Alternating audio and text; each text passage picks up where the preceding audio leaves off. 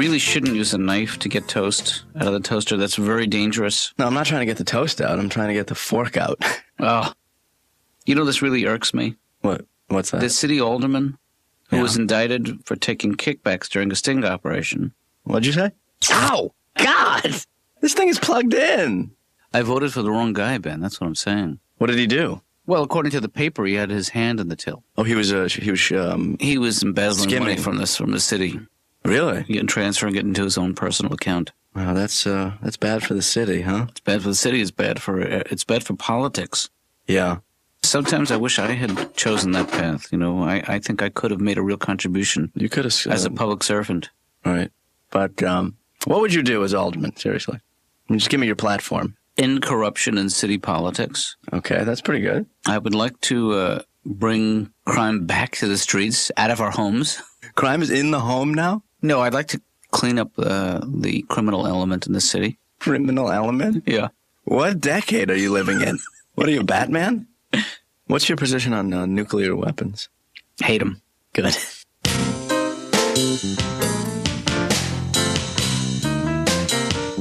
Hi, uh, Laura, Laura, is it? Yeah.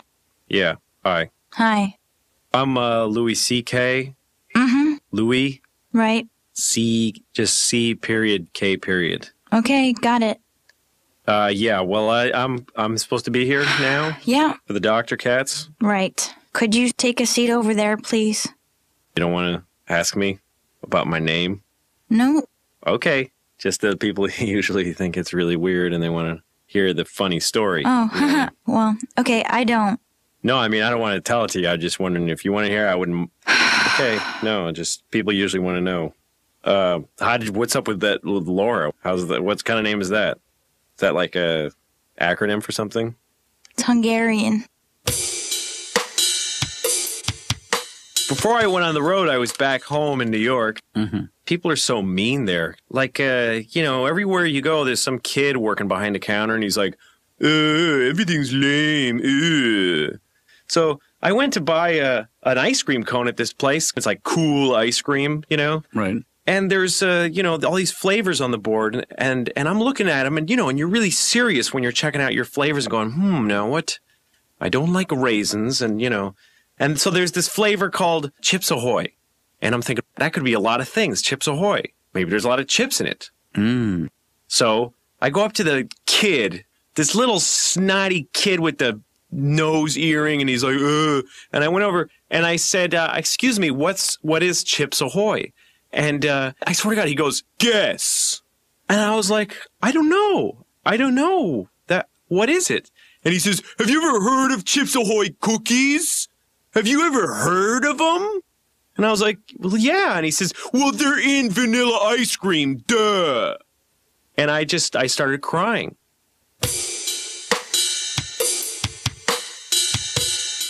You know what I like to do, Dr. Katz, when I'm really bored? Uh, give me a hint. I like to go up to total strangers and just start conversations with them.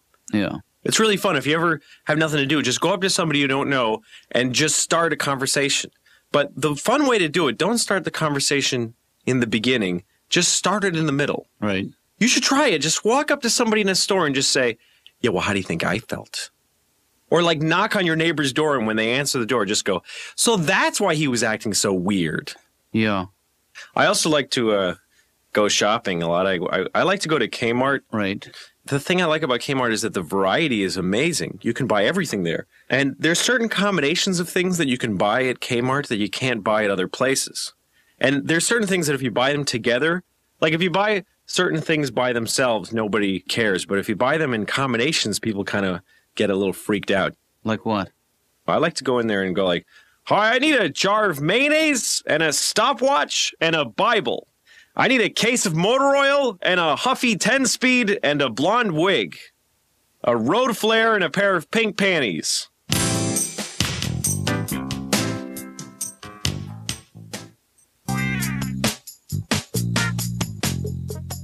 Hi.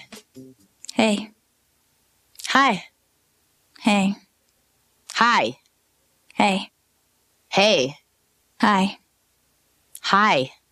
Hey. My sister is so much deeper than me. She's just a, she's a deeper person, you know. Even as kids, Mm-hmm. she was just an older soul, you know. We were sitting at the breakfast table and she said, uh, you know, Sarah, I think that the enemy of fear and tension is involvement. Right. I said, yeah. Grandma's fat. Went out to dinner last night at this really nice restaurant. The ladies' room was out of order. I had to use the men's room, which is so humiliating, you know? Sitting in that urinal. Oh. Dirty. Then I flushed, now my back is all wet. Oh, I was, uh, licking jelly off of my boyfriend. And, uh, all of a sudden I'm thinking, oh my god, I'm turning into my mother. Mm. I talk during sex. I can't help it. It's like it's beyond my control. You know, it's um, it just moves me to. You know, I always find myself talking during sex. I'm always saying stuff like, uh, "Ow, ow, ow, ow, easy, buddy." Dr. Katz's office. Laura.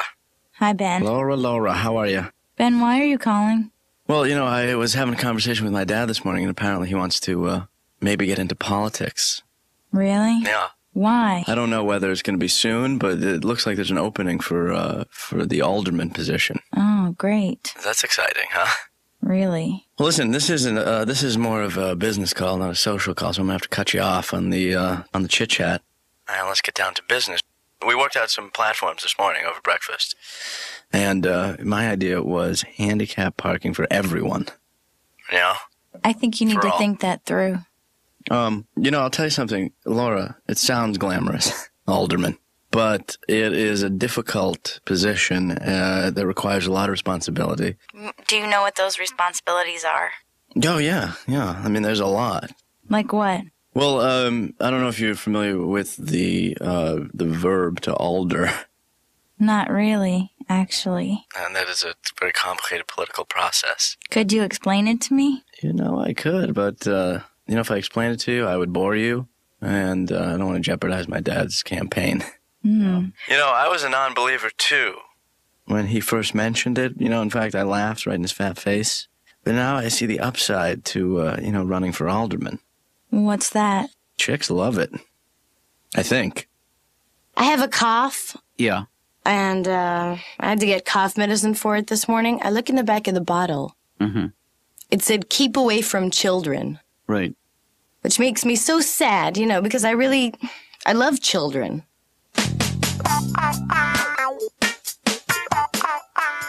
Yeah, I, I really don't want to subject myself to the kind of public humiliation, the kind of scrutiny that you uh, go through as soon as you Dad, public try to enter public life. Public humiliation is a good thing.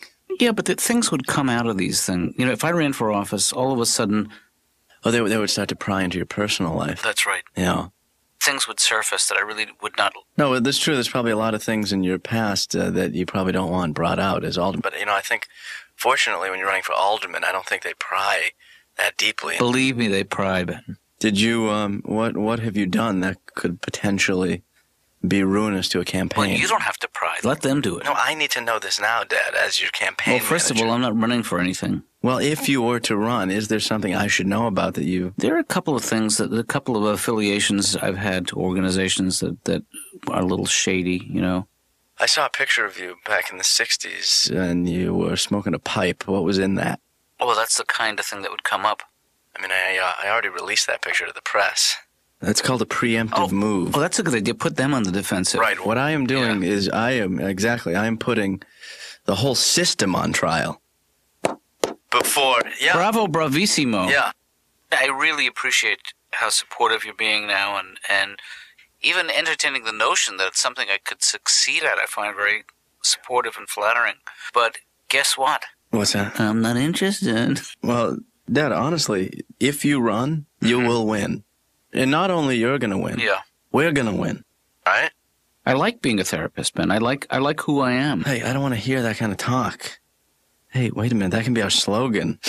What? I don't want to hear that kind of talk. Isn't that kind of a long, dumb slogan? Long, dumb slogan. That's it. We don't need any long, dumb slogans. Huh? See, everything you say is gold, Dad. You gotta go into politics. Goodbye, Ben. Goodbye, Ben. You're into it.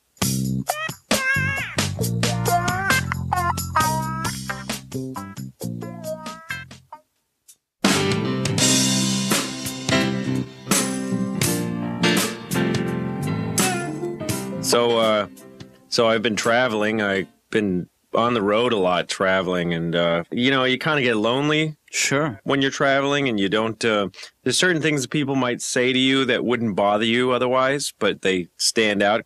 You know, like I was at the airport Mm-hmm. and I'm checking in, and the lady said, uh, "Did you pack your bags yourself?" I was like, "Well, yeah, it was just me in the room this morning, alone." And then she's like, "Did anyone give you anything to bring on the plane?" No. Who's getting presents before they go on airplanes? I want to get a present. I don't think presents is the issue, Louis. And I kind of get nervous when I fly sometimes. We were, uh, I was flying from New York to San Francisco, and the pilot came on. Well, we were sitting on the ground for like an hour because there was bad weather in San Francisco, so they wouldn't let us take off. Mm-hmm. And then the pilot comes on, Yeah. goes, Good evening, passengers. We have an idea up here in the cockpit. They won't let us take off to go to San Francisco, so we're going to say that we're going to Las Vegas, and halfway through we'll switch. And we're all looking at each other, you know, like, what the hell is this? Don't pull a fast one on the safety guys. Like, we're all going, yeah, screw those. What do they know? Stick it to them. Yeah, I was wondering, Laura, actually, uh, later this afternoon, if you have time or after work, you would want to drop by the uh, campaign headquarters. Where's Uh, that? It's right here at the house. And what would we be doing there, Ben? You know, we would do, we'd work on the campaign, and I made air quotes. You know what I'm saying? No, I don't. I'm saying you want to get on this political train, baby, and you don't want to get off. I mean, we are on a roll here. Don't you hear the phones ringing, Laura? No. No, hold on one sec. You know what? Forget it. I'm not going to get it. The uh, I'll forget. I'll get it. Hold on. Hey, Ben. You know what? No, I'm not going to get it because you know I've been working all morning, and I am just sick and tired of the. But I'll get it. Hold on. Katz HQ. Oh man, we have fun. No, honestly, uh, I um, I'm kind of a new man here. You know, I mean, I have more responsibilities. I paint posters. I have a staff of a one seven-year-old girl who lives upstairs who's helping me paint the posters, and uh, she's doing a pretty damn good. Not the red. It's weird relating to all the different kinds of people in America when you travel around. Like I was in Maine, Right. and people up there have a weird accent. Like I could hardly understand anybody that was anything that anybody was saying to me because the accent was so weird. Like I went up to this guy in the gas station. I said hello, and he said. I was like, wow, that's like another language almost. Right. And in Minnesota too, you know, the Minnesota accent. I went there and I was just trying to get directions. I asked this lady, how do I get to the interstate? And she said, so I don't know. I, I need somebody to help me with that one. So, Dad, ah. what'd you do today? What didn't I do today? It's more like it. That's what I like to hear. I just need to know if you've had any subversive leanings. I am a subversive You are. in, in the larger sense of the word. Right. And this country, Benjamin Daniel Katz, was built by subversives. No, Dad, they were uh, Puritans, I thought. Let me check. Yeah. All the great leaders of this country were subversive in some way. You think so? Yeah. Dad, are you now or have you ever been a member of the Communist Party? See, those are two separate questions, Ben. And it didn't really seem like a party at the time.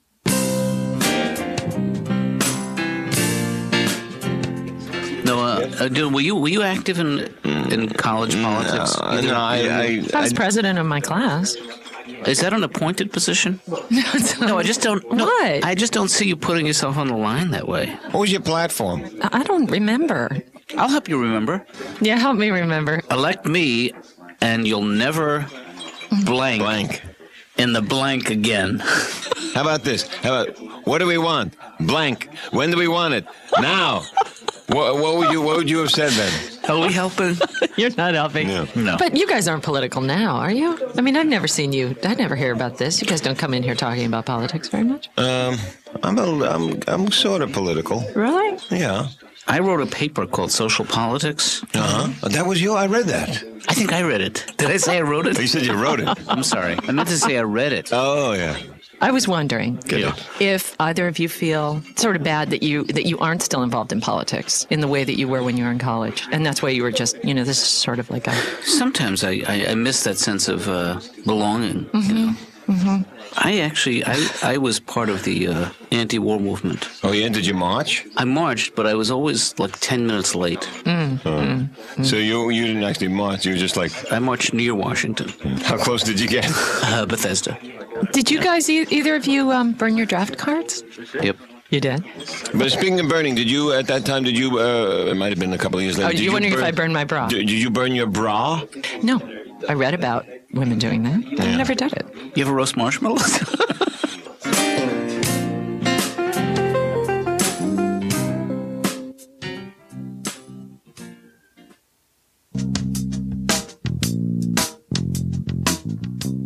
Dad, I'm glad you're home. Exciting news today. yeah. We have competition now. Who is that? I read in the paper today that there's another guy who is uh, apparently going to be running for alderman. So now we can uh, really get our talons in, and start attacking this guy. Hey, I have some good news for you too. Exciting news. What's that? Uh, I made reservations for us in the real world. What are you talking about? The real world is where you and I used to live until you got into this wacky campaign mode. I'm not really interested in running for anything. I don't feel like I can play this game anymore, Ben. You know, I just I just Well, I'm don't want just to saying, play. Dad, Yeah. Which game don't you want to play? The game where I'm running for office and you're my running mate or my campaign manager. I like it better when we were just a couple of guys. Just a know? father and a son. Yeah. Well, I, I mean, I think that you have a taste for this political life now. It's in your blood. I mean, a little bit. I think I've been a pretty decent campaign manager. you, you've been better than decent. You have been you have been superb, and yeah. I think that you could make somebody a very good campaign manager, hmm. Provided they were interested in running for office. Yeah. you know, that's one of the requirements. Well, I just thought that this is a good opportunity for you to get get something else going in your life, to start believing in stuff, I believe in stuff, man. you know. And then uh, you know, the politics is a uh, is is a good way to reach people, and uh, You know what else isn't bad is the phone. know, we're not even in politics, and you know how many times I've lied today? How many times? Oh my God, like a hundred. Just to practice. Yeah, You know, even the greatest politicians of our time lied. really. Even Lincoln. What was his nickname? Honest Abe. Well, maybe that's not a good example. What about the guy after Lincoln? Washington? No, Dad. Washington was the first president. Oh, I thought you meant alphabetically. Yeah, I already. I, actually, today Yeah. I drained the campaign fund. Did you did you put it in IOU? What's that? No, I went to the arcade. Well, you took our campaign fund. It was only one hundred and twenty dollars. Yeah. But But uh, man, did I dump that off quick? It was like two hours at the arcade. But guess what? I won you what's that? this. Oh my God! yeah, that's right. I played skeet ball.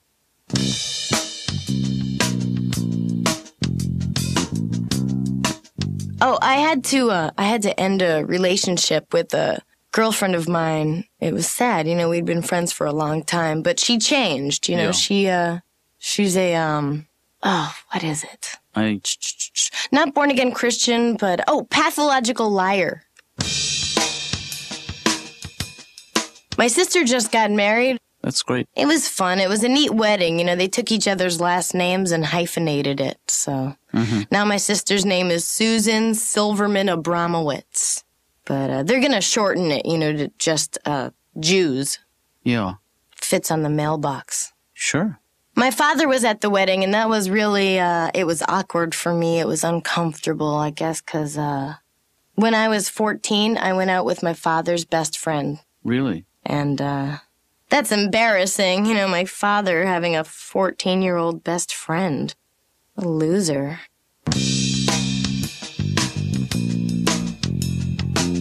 I had a gay dream the other night. This was really weird, Dr. Katz. I had a, a gay dream and I didn't know I was having a gay dream until partway through. See, here's here's what it was, the dream. Um, I was at a cafe in Italy with a friend of mine and we're sitting there and having espressos and Yeah. Gay dream. these two young Italian boys come up to us they say, Come swimming with us. We're going to go swimming. Come on, it's going to be very nice to go swimming. And, you know, it's a dream. So we're like, Yeah, what the hell? Why not, you know? Go swimming with these Italian kids. So I get on the back of the kid's scooter there and we go, you know, go into the mountains. And uh, so th- they take off their clothes and they start swimming and they're, and they saying to us, Come on into the water. It's beautiful. Don't be afraid, you know. So we're starting to get undressed, and I asked my friend, Is this gay, do you think, to swim with Italian teenage boys? And my friend was like, No, of course not. And I said, Yeah, you're right. Anyway, so I'm making out with one of them, you know, like kissing him, and it hit me all at once. Of course this is gay. Whoops. What the hell was I thinking? You know what the music means, Louis? This is totally gay. It's time to stop. Our time is up.